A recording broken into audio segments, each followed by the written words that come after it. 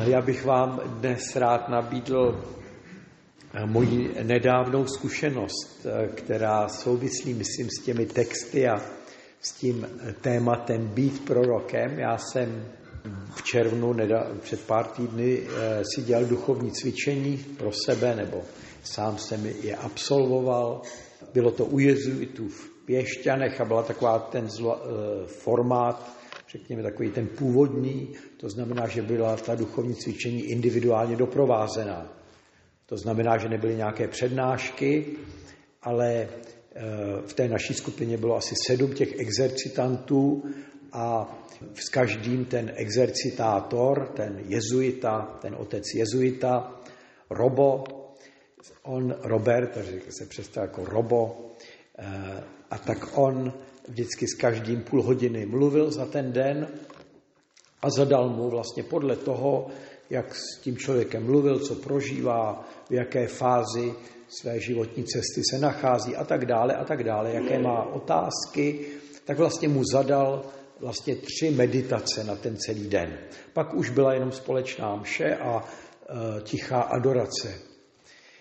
Takže vlastně každý jsme dostali takový za úkol nějaké tři úryvky, tři události e, z Bible a měli jsme si sami určit, měli jsme každé té meditaci, tomu rozjímání, tomu nazírání věnovat hodinu a každý si to určil eh, tak, jak chtěl. Mohl si taky každý ještě udělat takzvané opakování, aby to trošku vstoupilo do, do hloubky a já jsem dostal, to se mi hned vybavilo, když jsem slyšel to dnešní evangelium, já jsem totiž dostal za úkol eh, také promeditovat si, promyslet, zkusit si představit, jak vypadalo těch 30 let života Ježíše, než začal, obec, než začal působit. Když tam žil v tom Nazaretě, moc toho nevíme z té doby, pravděpodobně pomáhal svému otci v dílně, pravděpodobně nijak zvlášť nevyčníval, to vyplývá z tohohle evangelia, že ty příbuzní a, a ti z, z, z toho Nazareta se divili, najednou se divili, co to z něj něj padá. Nějak prostě, byli překvapeni, ne? Dokonce pochybovali o něm, že ho považovali ho doktor dokonce za blázna, když začal nějakým způsobem naplňovat to své mesiářské poslání. Takže se dá usoudit, že opravdu nemají pravdu takzvaná apokryfní evangelia. Samozřejmě lidi, lidi si kladli tu otázku, jak to bylo asi s tím Ježíšem, že jo? A tam jsou různé příběhy, myslím v Tomášově evangeliu, které ale církev nepřijala, je, jak pán Ježíš uplácal z hlíny nějaké ty ptáčky a pak na ně dejchnul a ptáčci odfrčeli, ne, odlétli. A církev tohle nepřijala. Naopak, to dnešní evangelium jakoby nám říká, no oni pak byli překvapení, takže on tam asi nějak zvlášť nevyčníval. Že jo? Ale já, když jsem vlastně dostal za úkol meditovat, doskusit si představit, to samozřejmě o to Bůh používá tyhle ty věci, aby mě samotnému něco odhalil, nebo abych eh, prostě eh, si představil to, co je pro mě důležitý. A já jsem vám velmi rychle, když jsem si představoval, jak asi Ježíš působil na to své úkolí, tak se mi vybavila jedna událost z mýho dětství. Byl jsem někde na druhém stupni základní školy. My jsme s klukama, tam u nás, já jsem z Jindřichova Hradce, tak jsme chodili, jednou, jeden čas to bylo moderní, tak jsme chodili hrát pasáka. Tam na hřiště, na piketu. Pasák takový zjednodušený baseball, jo? to znamená, byly tam ty baseballové pálky, nahazovali, byly tam ty mety, eh, on to spočívá jak v tomto jedno družstvo je v roli těch, co jakoby nahazují a pak než ten, eh, a ten druhý mužstvo, když chytí ten míček, tak ho musí dopravit na nějakou tu metu a jakmile dopraví ten míček na tu metu, tak to zablokuje. Že jo? A tím, já už se přesně nepamatuju ty pravidla, ale v každém případě jednoho, jednu chvíli taky samozřejmě přišla na mě řada, abych byl nahazovačem. No a já moc na tyhle ty sporty, které vyžadují nějakou šikovnost, tak jsem teda opravdu moc nebyl. A opravdu jsem nahazoval a tam je ten rozhodčí, který pak určí, jestli to, že to nebylo odpálené, jestli to může ten, kdo to měl odpálit, protože to je ten z toho jiného družstva, myslím. A prostě, anebo to skazil ten, který nahazuje. Přesně nevím. A já jsem to prostě zkazil. Já jsem to prostě. A teď oni se všichni na mě jako sesypali, rozní nadávě. Teď já jsem tam byl jako ukropeček, ne, protože jsem jim kazil hru a, a prohrávali jsme a někdo to opravdu prožívá, kdyby šlo o život a tak dále. Ale byl tam s námi taky David. David byl o trošičku, myslím, starší než, než my. A Davida jsem znal z rodiny, protože jeho rodiče chodili, kamarádili s mojí mámou a tahle ta rodina, tyhle ty rodiče toho Davida, ty, byli takový jedni z těch prvních, co mi taky nasadili toho červíka do hlavy. Jo. Protože já jsem samozřejmě byl dítětem své doby, křesťanstvím jsem byl nepolíbený a vlastně tyhle ty jeho rodiče, a takhle, byl jsem samozřejmě na tom jako většina, že ty věřící že to jako, že jsou takový trošku zaostalí a že jako nepřijali tu vědu a e, že vlastně, když, že věřící je pro člověk proto, když si neumí vysvětlit boušku, tak vlastně si tam musí dosadit nějaký ty nadpřirozené síly a vlastně, že už křesťanství si splnilo tu svoje poslání a teď už musíme teda jako opravdu nějak přijmout ten nový moderní pohled na tu skutečnost.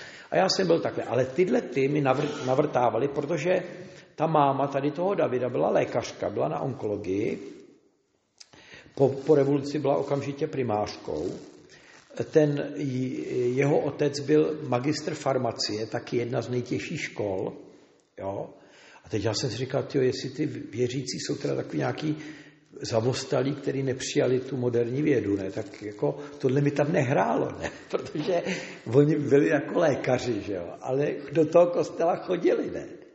A, a tenhle ten David, ten jejich syn, taky chodil do kostela, ještě, měli, ještě měl sestru a dneska je ostatně taky lékařem, ještě už jsem se naučil tu zkratku, když jsem jsem nemluvil, Orl, je doktorem Orl, a eh, on se tenkrát jako jediný mě zastal.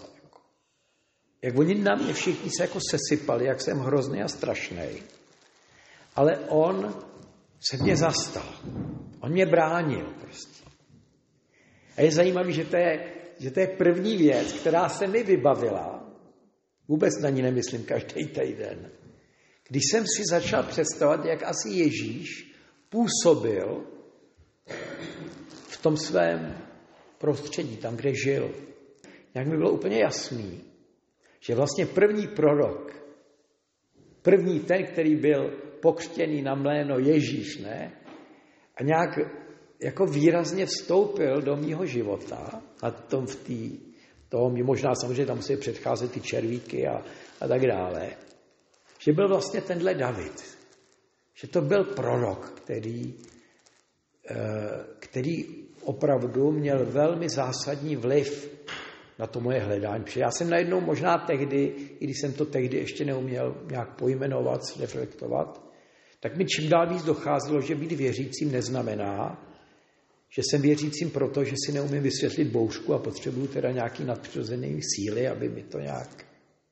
Ale že být věřícím je opravdu být ve službě milosrdenství. Být na straně těch, kteří jsou eh, na okraji odsouvání eh, a který třeba i něco zvorají, protože já jsem to opravdu zvoral, já jsem to objektivně házel úplně blbě. Jo. Oni měli, ty moji kamarádi, pravdu, že jo. To, to bylo objektivní, že já jsem jim to zmrlil, že jo. Ale najednou tady byl někdo, kdo do toho vstoupil a začal mě vlastně bránit. A já si myslím, že asi pro mě to byl velmi důležitý a účinný obraz proroka. A já jsem přesvědčen, že Ježíš tehdy takhle vyčníval. Víte, on nevyčníval tím, že by splácal ty ptáčky a, a oni by tam lítali a všichni by koukali, ne.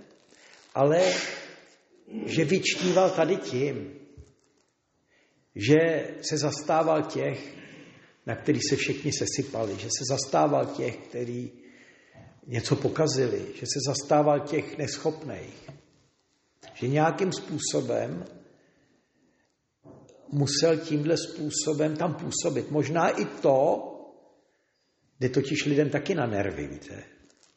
Oni tomu všichni netleskají. Že? Oni totiž často si lidi myslejí, že si za to můžou sami ty lidi, že jsou neschopní a že neumějí nahodit ten míček. Ono to není tak jednoduchý. Můj brácha naopak, ten, co dělal za sport, tak vždycky v něm, v něm, v něm byl za, za dva měsíce nejlepší. Ne? A ono to prostě je trošku jinak, než se zdá na první pohled. A myslím, být prorokem znamená ukazovat na ty hlubší souvislosti. Že to není jenom tak, jak to na první pohled vypadá. Ostatně ten Ezechiel, byť je to Eh, ten starý zákon, a nevím, jestli jste to stačili zachytit, je to takový, uh, vešla do mě síla a postavila mě na nohy. Slyšel jsem, jak Bůh mluví ke mně a praví synu člověka. Já tě posílám k synům Izraele, k odpadlému národu, který ode mě odstoupil. Oni jejich otcové byli mi nevěrní až do dneška. Víte, ono, a to něco je, ale my se můžeme na to podívat tak, že ty teda to byly tak hrozný a teď potřebují toho proroka, ale můžeme se eh, na to taky, a že ten naštvaný Bůh teda tam posílá toho proroka. A nebo se na to můžeme taky podívat z druhé strany. A možná většinou ty proroci byli trošku naštvaní. Od Jonáše až... Uh, oni všichni tak trošku byli naštvaní, protože v podstatě proč mě nepošleš k někomu, kdo teda tu tvrdou palici nemá, že? kdo je věrný. Proč mě posíláš tady těm furt, který odpadají, který to kazej, který nakonec prostě stejně ty jim dáš tolik těch milostí a oni. To znamená, Bůh, víte, z toho proroctví, a myslím si, že toto musí být jasné a silné vědomí proroka, že Bůh nikoho nevodepisuje. Nikoho nevodepisuje. Naopak ten vidoucí je schopen nějak vidět, že každý ten člověk má v sobě něco dobrého. Někdo, kdo něco, na čem se nějak možná tak dá něco postavit, někde začít. A to je to, co musí mít jasné vědomí takový prorok. A druhé vědomí musí být taky mít vědomí vlastní slabosti. To je ten Pavel, že jo? Abych se pro znešenost zjevení nepišnil, byl mi dán do těla osten, posel to satanův, aby mě byl do tváře, to proto, aby se mě nezmocňovala pícha. Kvůli tomu jsem třikrát prosil pána, aby mě toho zbavil, ale on mi řekl, Stačí ti moje milost, protože síla se tím zřejmě projeví ve slabosti. To je taky zajímavý rozměr proroka. Ostatně, když se podíváte na jednoho proroka vedle druhého v Bibli, tak vlastně zjistíte, že žádný z nich nechtěl prorokovat. Nejznámější je ten Jonáš, co utíkal před hospodinem. Že jo? Ale oni všichni ty proroci se zdráhali od Mojžíše počínaje, prostě nikdo z nich, já jsem ten, já mám tu pravdu, já vím, jak to je. Ostatně jedno z těch pravidel těch ignaciácích exercicí nebo aspektů umění, které mu se má člověk na, naučit, je, že rozlišovat, co je od Boha, co je od mýho ega, co je e, a tak dále a tak dále. Být prorokem, a myslím, že svatý prorok právě Prokop, svatý Prokop, prorok, svatý Prokop, vlastně on, když tam za ním přišel ten panovník a chtěl udělat opatem toho kláštera, tak on vůbec nechtěl, ne?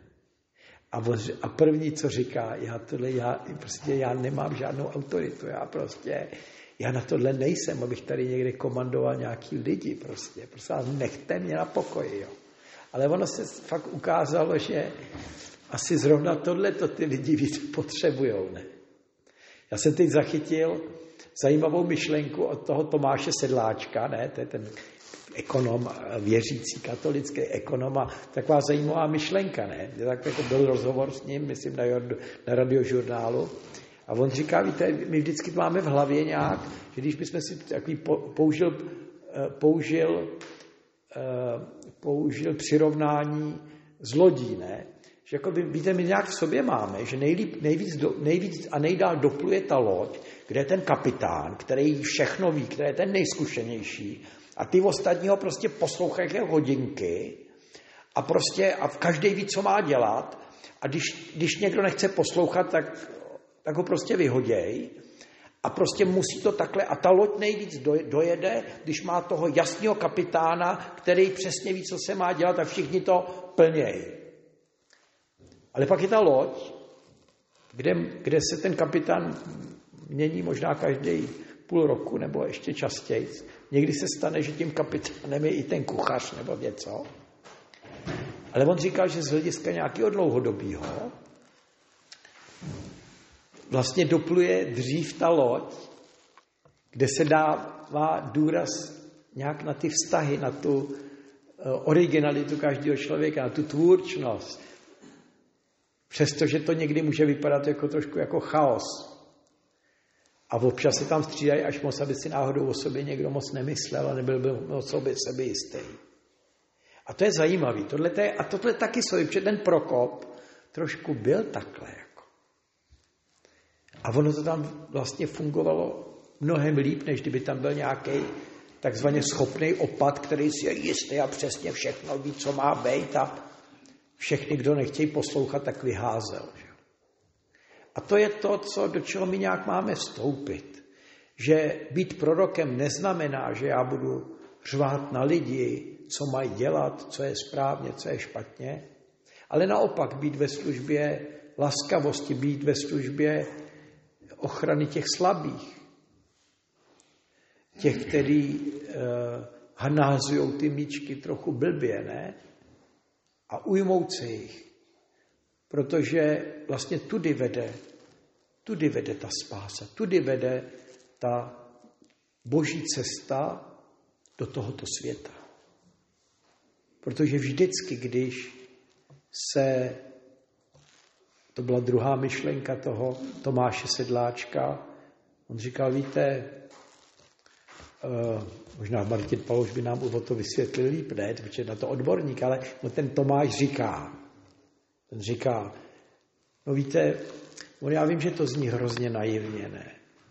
Já vím, že to zní šíleně jako naivně, že toto, ale víte co, v těch dějinách zase se nějak ukázalo, že jediný, co může nějak něco vyřešit, tak je to, s čím přichází křesťanství, i když to vypadá na první pohled naivně, neúčinně. A víte, co to je, s čím přichází křesťanství, co nic jim nikdo jiný nepřines. A to je láska k nepřátelu. Láska k nepřátelu. Možná, že, že přece jenom Evropa tak, jak na tom je, tak to bylo i díky tomu, že se ty nepřátelé, kteří prohráli, totálně nezašlapali. A tak dále, a tak dále.